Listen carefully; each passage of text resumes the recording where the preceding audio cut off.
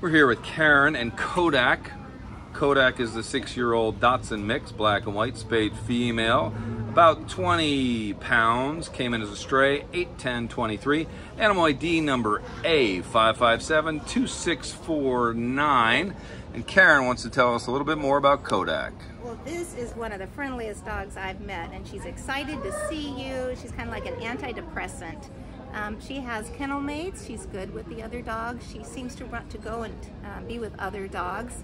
Uh, she's um, not too shy. She's very, very friendly. I took some videos of her rolling around in the play yard, and she seems to be potty trained, which is a really big plus. Awesome. So if you want to meet Kodak, she's here at Baldwin Park Animal Care Center. And again, her ID number is A5572649. Thank you, Karen and Kodak. There she is. Beautiful little dog.